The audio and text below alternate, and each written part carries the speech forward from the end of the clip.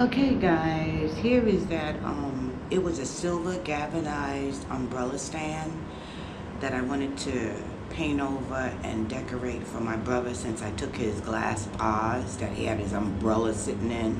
Anyway, I just went ahead and spray painted it. I did not record it because I didn't want any spray to get on this camera, on the lens. And this is what I used. I used a Krylon Fusion all-in-one. I did, uh, two coats. So now I'm just going to let it dry. My only concern with this is the top part of the handle uh, that's facing down is not um, spray painted and I really don't want to get any paint on the inside. So I'll figure that out after it dries and I turn it over. But I just wanted you to know I did go ahead and spray painted it. And then I did print a picture of one of his artworks that I cut and then I got to figure out how I'm going to put it on, and that's going to be it. I will probably also uh, polyurethane this when I'm finished. But I'll be back when it's dry. Okay, um, here's the vase inside.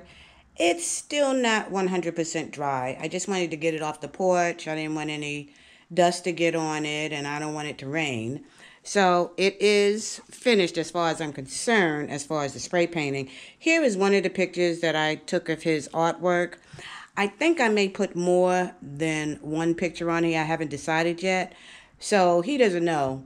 And I just asked him, oh, just send me a couple of paintings that you, you know, that are just sitting around that you actually don't have hung. Some of your favorite paintings. He doesn't know what they're what I'm using them for.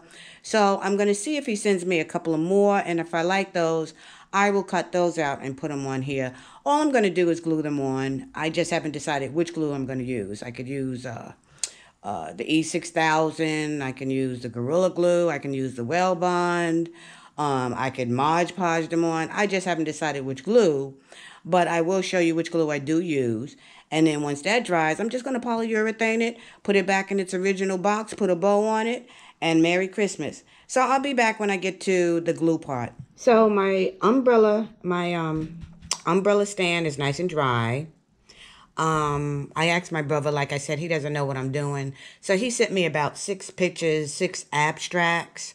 Um, and these were the two best ones because I couldn't tell him what I was doing with them. So I said, just take a picture. So these were the two that came out the best. So these are the two I'm going to put on uh, the umbrella stand. Um, I'm going to use the Weld-Bond. I'm just going to get some Weld-Bond all the way on the back, press it down, let it dry, and then I'm going to come back and I'm going to coat the whole thing with the polyurethane.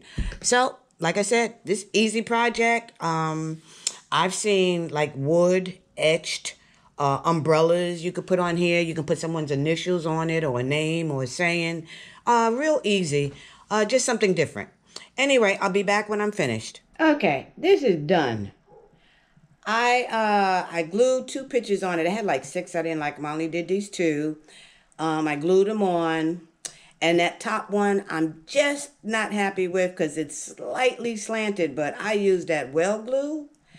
And once it was on and I stepped back, I couldn't pull it off. So I left it on there. And then I just used one, uh, one coat of the uh, water-based polyurethane. I may do a second coat. But again, this was just a little craft just to decorate an umbrella stand. Uh, real easy, just giving you an idea, something else that you can do.